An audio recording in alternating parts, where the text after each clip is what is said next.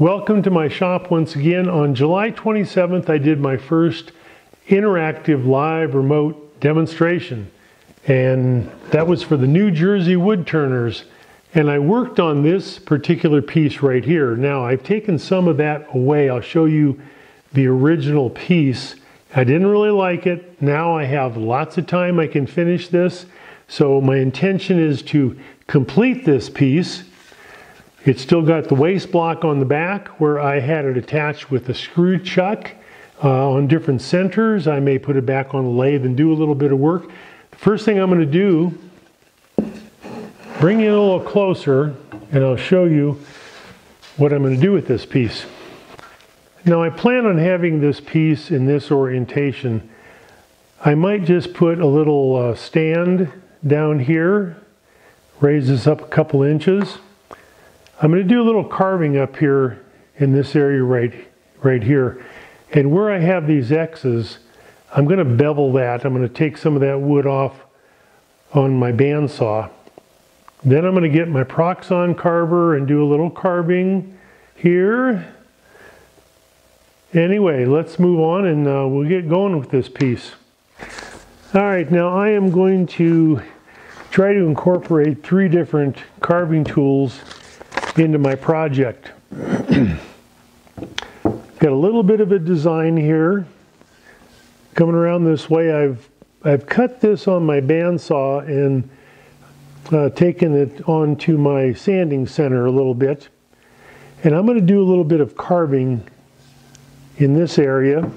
And this is the engraver. It's a rotary engraver 10,000 to 16,000 RPM, and I'll tell you, I would not recommend getting this type of engraver. It has a long shaft, and the motor is in the unit here. So this all turns, and sometimes this comes loose, and the better ones have the motor actually in the, um, the handheld part right here. They're a little bit more expensive, but anyway. Now, first thing I'm going to do, moving along here, I've got a, a tip in here that I'll show you a close-up of. All right, I'm showing you a few of the cutters, the, uh, the little ends that go into my carving tool. These are really cool. These uh, are my most recent purchase and I don't know if you can see it or not, but these are offset, these little points. And what you get is sort of a, a line with three grooves in it. This a little thicker one right here. This is a collet engraver. So some of these, like this one here, obviously is thinner than this one, so I need a different collet to attach that to the business end of that engraver. And I'm going to do a little bit of sample carving on this piece of maple. It's probably the same wood as my project is. So I'm going to turn this on. Now this is a variable speed machine.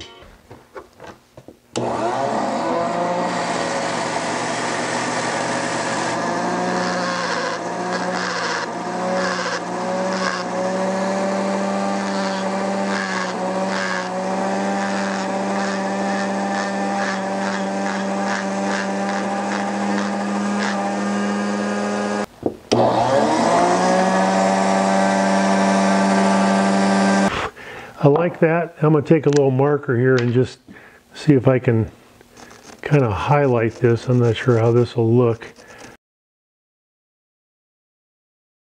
I'm going to move on to my main project here. I'm going to do a little carving right up in here. All right, let's take a look here. So there's a little pamphlet that my carver came in I probably got that at uh, Treeline.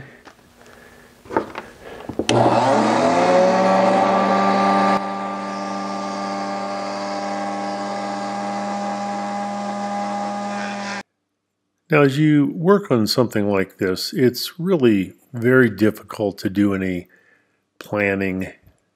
I usually have some ideas in mind what I want to accomplish in a piece like this. It's, you know, mainly meant to be artistic.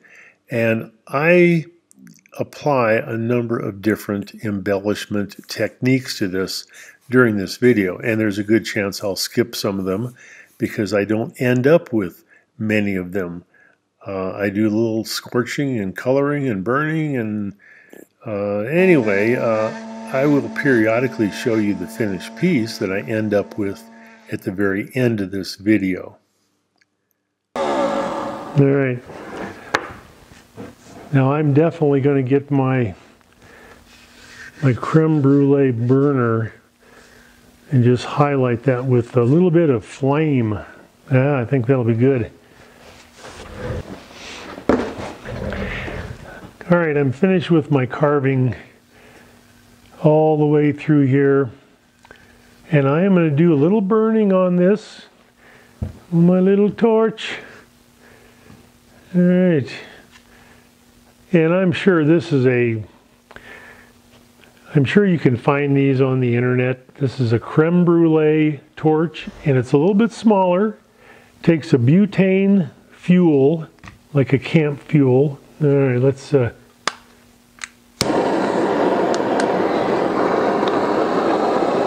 I'm going to dial that back a little bit. Make sure I get this in the in the camera. Now, as I was carving this, there were lots of little fuzzy bits, if you will. And I'm, I left them in there, didn't sand them back or anything.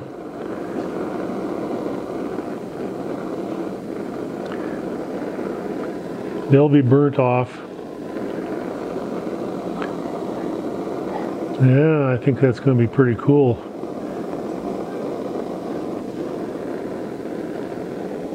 Now, I wasn't sure about this area right in here, but I kind of like that. It's a little bit of a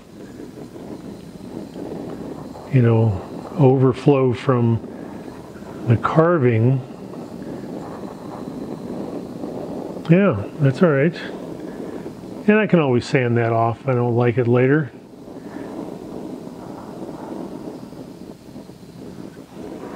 All right.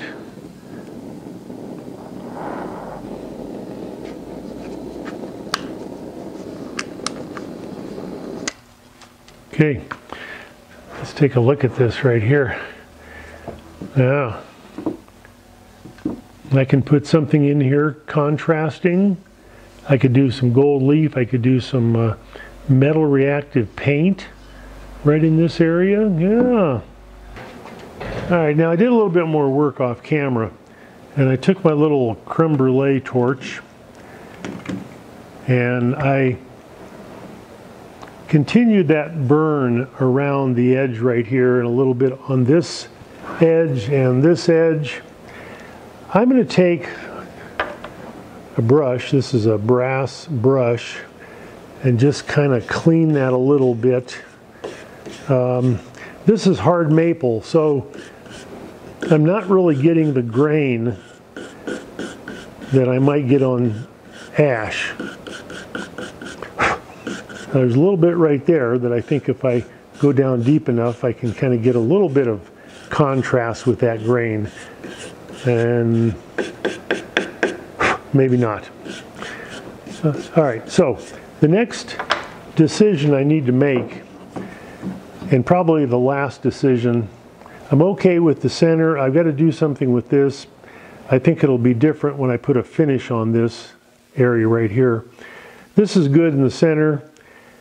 I'm thinking this area right here, I'm either going to do metal leaf or uh, metal reactive paint.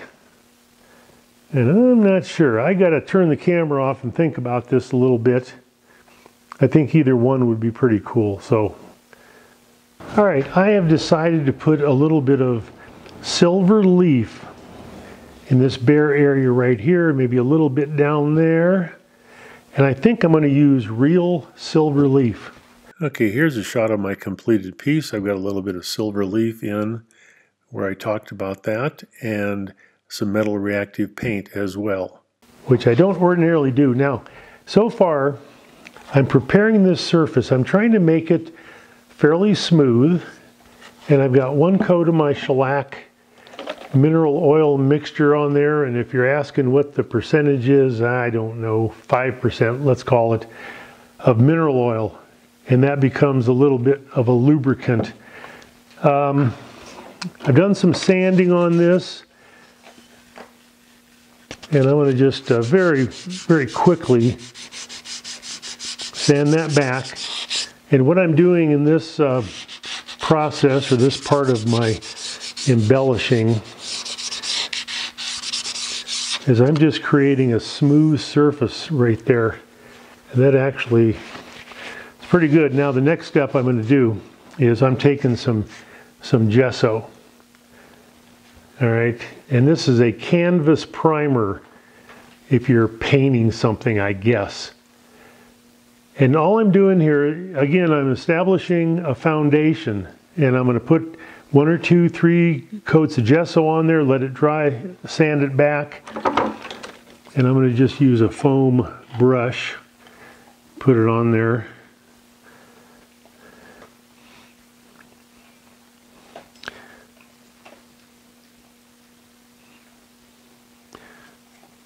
Trying not to get into my carved and burned area over here.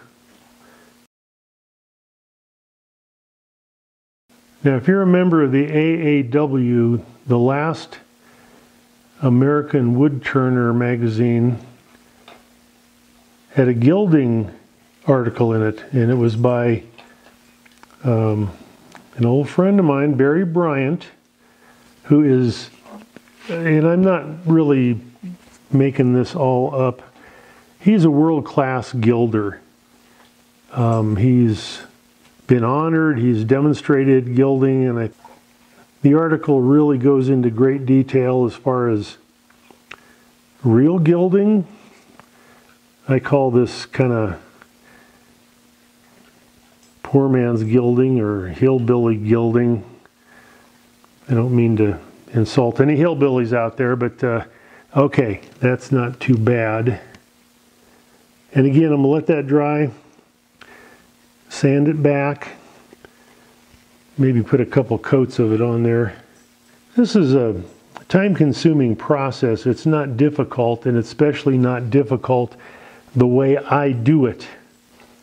Now Barry Bryant and I were members of same wood turning club down in Worland.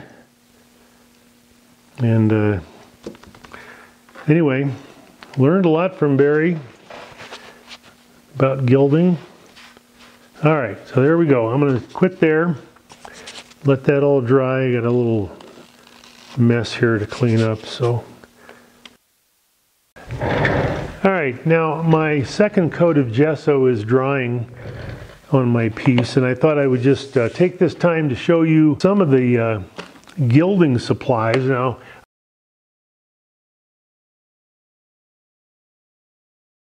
I've got two coats of gesso on my piece. So shellac, a couple coats of gesso, take some fine sandpaper and just take off the, uh, the rough bits on that, doesn't take much. All right. And this is a critical stage. If you're doing real gold leaf or silver leaf, uh, this takes a long time. There's many steps to this process and I'm just kind of showing you the highlights or the easy way to do it. Okay, we are getting closer. What I have here, shake this up a little bit. This is a Dux, D-U-X, quick dry gilding size. Right there. And the sizing is simply uh, like a glue or an adhesive. All right, now I got a good can of this. It's uh, relatively new and it's not skinned over or anything. So I'm going to take a little artist brush and I get these, they're cheap and I do clean them out a little bit when I when I can, right there. So I'm going to put this uh, sizing over the gesso, and I'm I'm going to try real hard to do a do a neat job. I see some of my bristles are coming off. Get way back in this corner back here. This um, sizing really is a little bit like contact cement. I mean, you know, I've I've put more formica down than gold leaf or, or maybe even veneer back in the day. So I'm going to cover that surface and I may speed this up, but you get the idea. There's, there's different ways to apply this sizing. You can spray it on, brush it on, like I'm doing here. All right, one more little area up in here. So I'll let this dry to the point where it's a little tacky. You know, just kind of like contact cement. And then I'll be ready to do my leafing. All right. This will take 20 minutes or, or so to dry. All right. All right, I am ready for the next step, the fun part of this. And what I need are a couple little brushes to pat down my silver leaf. This is real silver leaf. And contact cement um, it's not coming off on my finger, but it's still pretty tacky. Yeah. now this this silver leaf, and this is made by or sold by Barnabas, right there.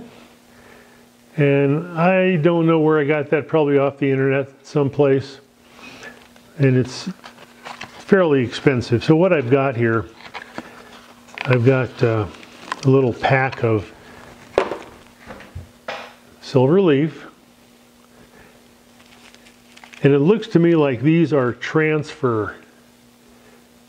They're on the back of this uh, wax paper, which makes it a lot easier to apply this.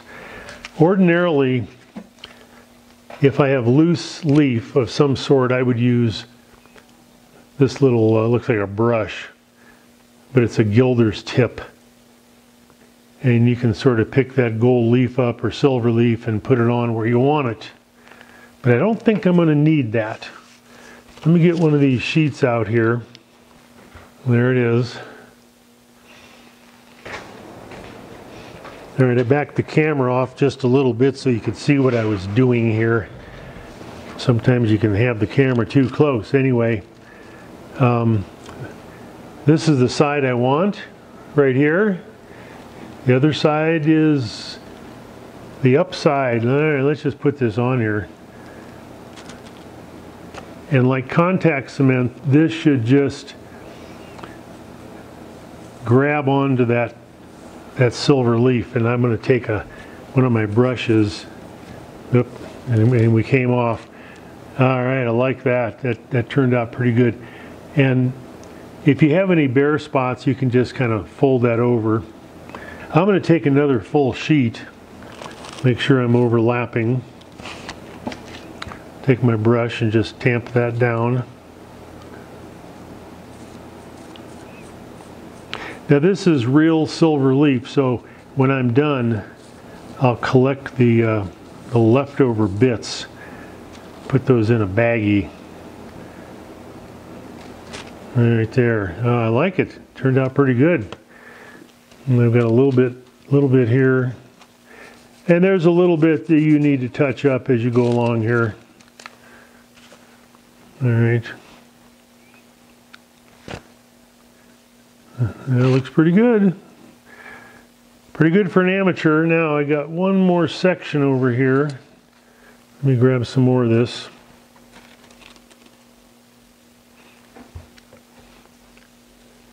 And I'm just lightly pressing that down with my finger to begin with so it, it starts to grab. Take that off. Got a little, little section down here. I think I've got enough right there. There we go. Now one reason I am using silver leaf is because the center here is silver. It's silver uh, gilt cream.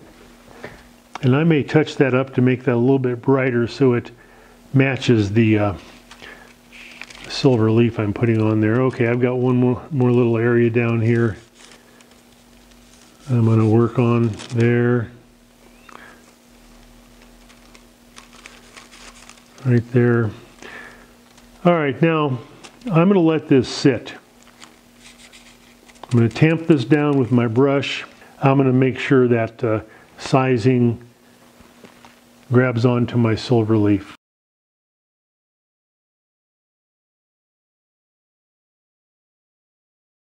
Here I am at my bandsaw and I'm going to take off the waste block. I've got a large uh, resaw fence uh, set up and I'm going to just run this through there. I do have a push stick in my left hand so uh, safety first all the time. And this does a really nice job. I got a flat section on the lower part of this display piece that uh, sits on the bandsaw table and now I'm going to reverse chuck this. I've got a waste block that fits that uh, center section, which is on the true center of the piece. I'm going to bring up my tail center, which actually has a mandrel saver uh, in the live center.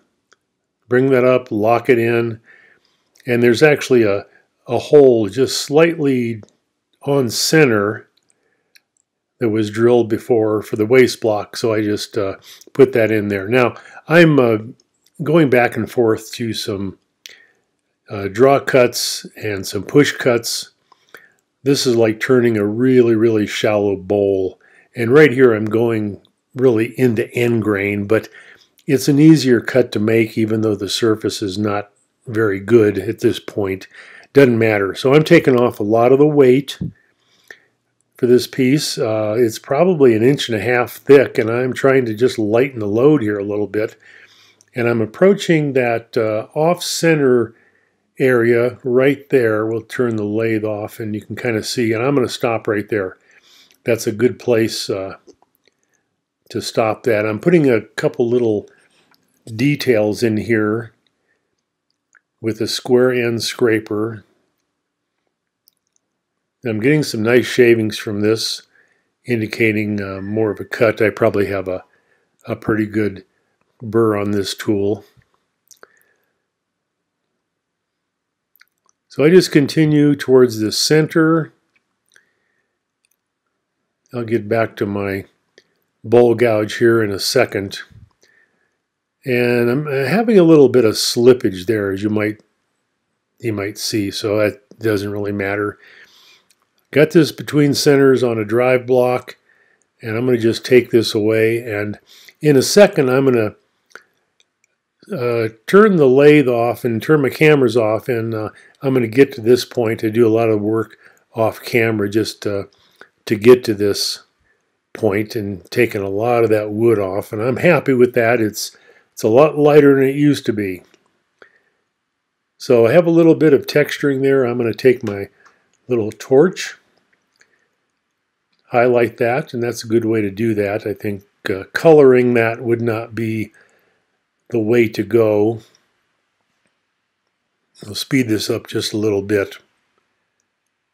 Now keep in mind this is the underside or the back side of my piece and I'll probably put a little clip on this so somebody can hang that from the wall. I've also done a little bit more texturing on this and I'm going to put some color in this um, in a second. There it is right there. And I am going to take that away. I don't like it at all looking at it, even though I put some of my clear acrylic lacquer on this. Yeah, I don't like that at all. So uh, we'll remove that and I'll show you some finished pieces later on. And I don't know, you can barely see this in the in the camera shot. Uh, I'm, I'm putting a little bit more of that finish on the very rim of the outside of this piece. So let's move on to the next uh, section. I've got a lot of videos dealing with gilding and most of them most of them are metal leaf, not gold leaf or silver leaf. Um, one indicator if it's a genuine gold or just simply a metal leaf. This is silver, obviously, and it's on a transfer, which is real easy to do. It's kind of stuck to a piece of wax paper there. These bigger sheets are always metal leaf. They're imitation silver or gold, and I've got a, a bunch of these right here. Um, my favorite, one of my favorite ways to apply uh, gilding is in a, a flake. Okay, it's and that's what it looks like. It's messy, but it's cheap and easy and fun, and you always get a good result. Um, this old baggie is all full of those flakes. You just uh, prepare your surface, put some sizing on it. The sizing is the adhesive. These are pure gold leaf Okay, they're very small little pieces. 100 gold leaf sheets in that little packet. I get a lot of these from Hobby Lobby. Now, these smaller containers, these smaller sections of leaf are real gold leaf or real silver leaf. These are silver. This one is gold leaf. Whoops. this one's gold leaf okay, in that little container there, little envelope, if you will. So I'm going to put this stuff back in there, some more of that flake, which uh, it's pretty cool. Fun to do. This is all fun to do. Um, there's some more imitation gold. Not real, but it's a lot cheaper to mess up with that stuff than, than the real gold or silver. So